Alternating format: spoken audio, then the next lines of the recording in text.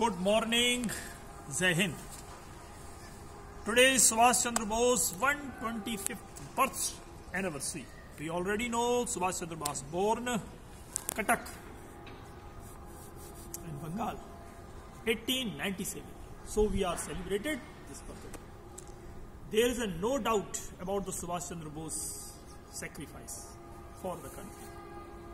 He was the tremendous hero for our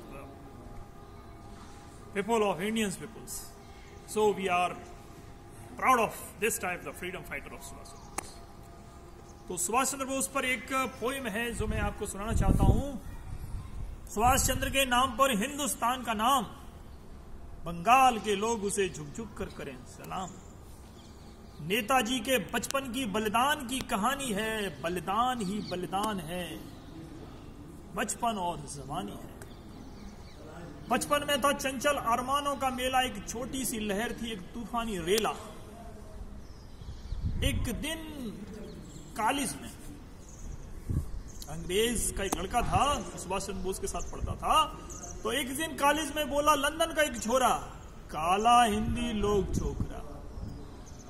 क्या बोला? काला हिंदी लोग छोकरा, शेर बोस का खून रे खोला, कोरे के एक चपत लगाई, नाम कटा कॉलेज से लेकिन पर हिंदी लाज बचाई इंग्लिस्तान को हुआ रवाना, पर ये बागी दिल ना माना। यूरोप में जाकर आईसीएस का, इंडियन सिविल सर्विस, उस समय आईसीएस चलता था। यूरोप में जाकर आईसीएस का इम्तहान पास किया, इतना ऊँचा औधा पाकर देशभक्ति ना छोड़ दिया भारत में आने से पहले गांधी को प्रणाम किया। सुभाष चंद्र बोस जब हिंदुस्तान में लौट कर आए तो अंग्रेज़ों ने उनको ऑफ़र किया कि आपके पास आईसीएस की डिग्री है? क्योंकि उन्होंने पांचवी रैंकिंग पाई थी उसमें।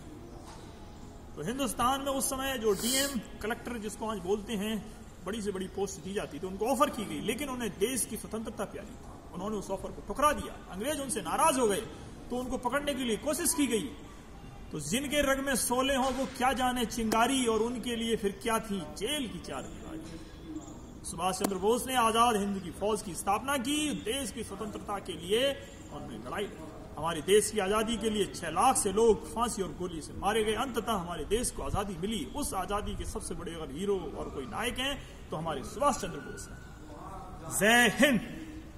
भारत माता की जय।